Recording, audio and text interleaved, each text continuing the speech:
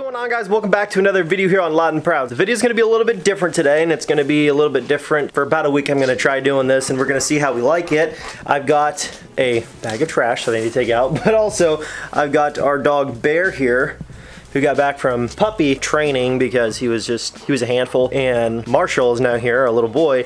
And I'm like, if this dog is not well trained, I'm gonna have some problems with him if he's pouncing on our kid, you know? So he's doing much better, very well behaved now. For the most part, he listens very thoroughly, don't you, bud?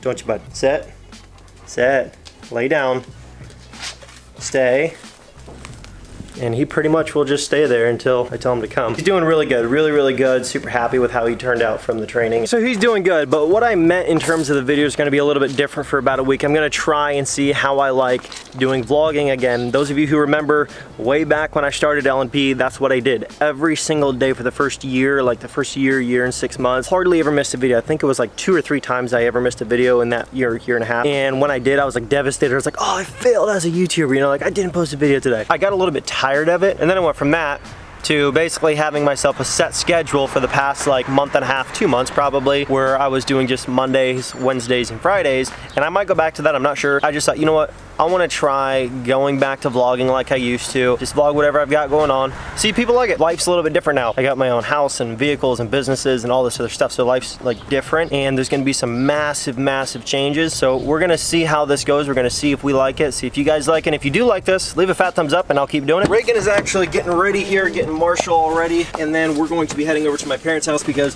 we have absolutely horrible Wi-Fi where I live right now. It's really no good at all for uploading videos, so a little bit of an inconvenience, but we're trying to work on actually buying a building, which I'll get into a little bit later, but this is our goal coming up. I get some light on in here.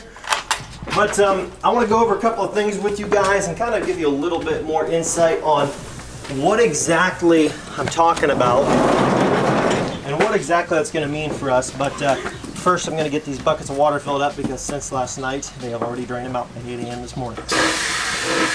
And now we have to give the pigs and chickens some water too, and then I'll get into that topic I was talking about. But before we talk about this new plan, I want to thank everybody who entered to win this truck which this giveaway is now over by the way. However, the Hellcat giveaway is still live, so if you want to win our 2018 SRT Hellcat plus $5,000 cash, that is on a separate website. There's a link in the description below, pdapparelco.com, and this is your best chance and your last chance towards winning that car plus $5,000 cash. The giveaway for that ends in five days though, so don't waste any time. So that thing I was talking about that I was going to share with you is Reagan and I are trying to buy a building right now to do our own fulfillment.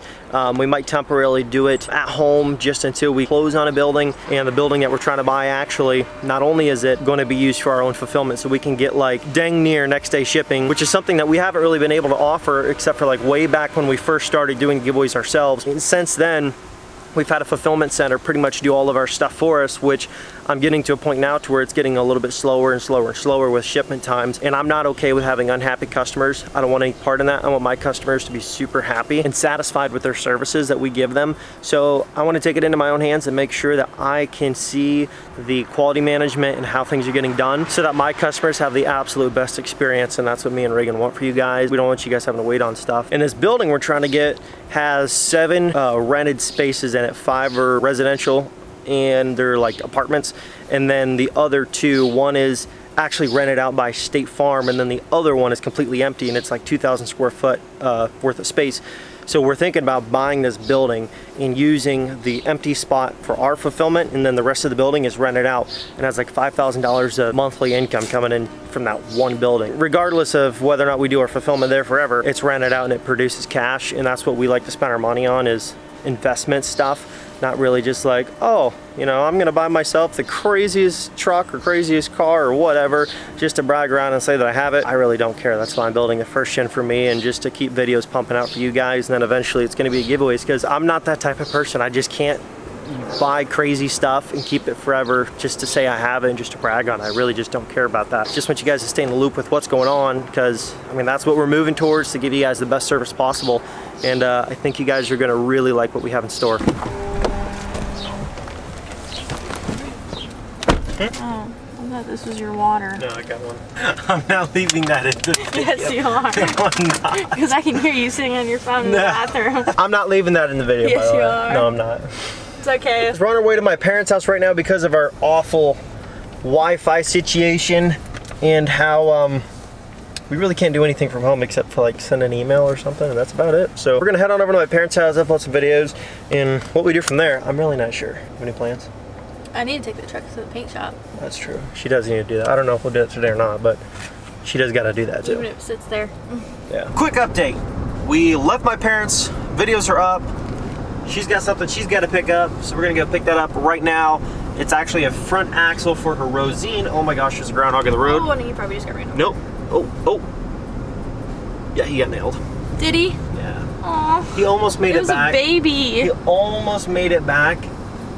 And Did he really just get hit? Yeah, we. I didn't hit him. Oh my gosh. But like, he almost ran under our car. Then he turned around and ran ran away.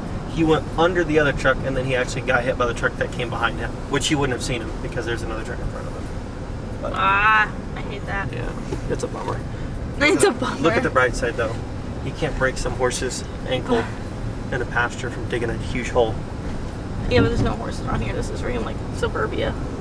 Do you know how many Amish we have around here? There's a lot of suburbia right here. Yeah, there's. I mean, now we're in suburbia, just down the road a little more, but we got a lot of a lot of Amish around us. Anyways, that's that's like not even related to what we Okay, were what about. happened in like, the why- moment? yeah, why are we talking about? Because I just literally were filming me and he was crossing the road. then he died. That's It was a little guy. It's a bummer too, because like it was such a cute groundhog. Like if it was an ugly groundhog, we wouldn't have cared. But it's cute groundhogs. I'm telling you what, they don't deserve that. On our way to go pick up an axle for her truck because her truck, from the time before she even got the truck, the truck had been in a small front end collision apparently because the front hub, like the front passenger side axle, like the hub of the axle, the whole axle itself is like the hub is like bent up in. Like it's not like a bad ball joint or piece of suspension component. Like the hub of the axle is bent. So her wheel looks like it's tilting in on the passenger side like all the time. We're gonna go pick up this new axle that she's buying and then other than that I'll catch you guys back at the house. It does need a little bit of work.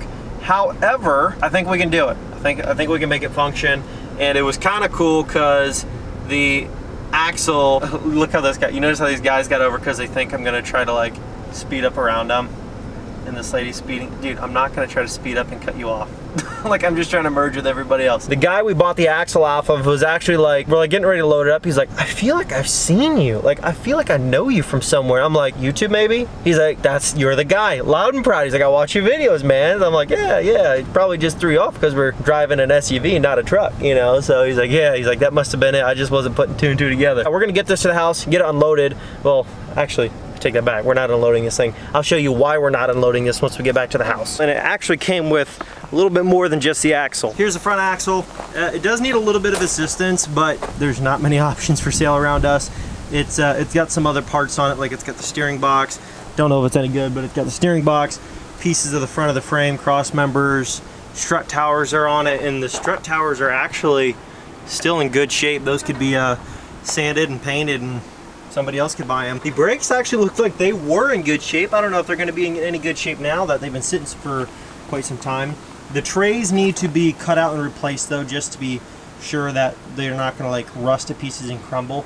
But what her goal is going to be is dismantling everything and basically working down the axle and painting it herself. And if you want to see that process, that's going to be on my wife's channel. Her link is always in the description below to her website and her YouTube channel. We're going to be trying to work on the first gen a little bit here. I'm not going to get a whole lot on film right now, but I do want to try to at least start vacuuming and wiping down some of the dash components back here that are just really dirty, like the plastics here for the airflow, for the air conditioning stuff. And the air conditioning did work. It had a little funny switch, like right there. You had to kind of like pull a little knob to turn it on. It's kind of weird, um, but it did work. So we're gonna try to clean this all up and then maybe, just maybe, see if we can fit the dash in here. I'm not sure. Well, I can honestly say I'm a little bit bummed out because uh, I didn't get any of this on video. Ugh, I guess it's not a huge thing. It's just the dash going in the truck. But you know when you think you hit the record button and you don't? That's what happened. Here is the new dash in the truck. I'm not completely done with everything, but um, I did try to wipe it down just real quick before I flipped the camera back on once I realized it wasn't actually on. Um, dash is wiped down. We've got these screws all fastened across the top. And uh, I might actually pop these top ones back out and paint them black like the heads of the bolts just so it looks a little bit cleaner because I just noticed that they uh, they stand out that they're kind of rusty. Actually, you know what? I take it back. The seal for the window The windshield, I mean, is going to cover those up anyway. Because I remember that with the windshield in, you're not going to see the bolts because the seal kind of covers it up. But anyways, here's the dash so far. Like I said, it, it turned out really good. Um, the only giveaway that it's not the original dash is it's red on the inside. And I just realized that. Um, but it's really not that hard to pop the glove box out if I want to paint it again because I just have to take out like four screws along the bottom and then that's it. So I did get the gauge cluster put back in that the truck had originally and reconnected everything. The AC and the heat and all that stuff, that stuff's all in. The radio I did not put back in because it was junk anyway, so I'm just gonna leave it out until I put the new one in. Here's the progress so far. Turned out, it looks really good. It's such a clean looking dash. It really does look nice in this truck. I'm not gonna get into specifics of what we're gonna do next because I really don't know what order it's gonna happen in, just whatever shows up first. That's gonna put a wrap on today's video. I hope you guys enjoyed it. Very different style video today. I just tried to film a little bit of all of the stuff that we had going on instead of just um, just the truck. So if you guys like this style video, please leave a thumbs up so I know you guys want to see more of them and leave a comment down as well. Do not forget that if you want to enter to win our 2018 SRT Hellcat plus $5,000 cash, that giveaway ends in five days. It ends on July 22nd and that's your best multiplier and your last chance to get in on that car. Link is in the description. It's pdapparelco.com. I'll catch you in the next video. Peace.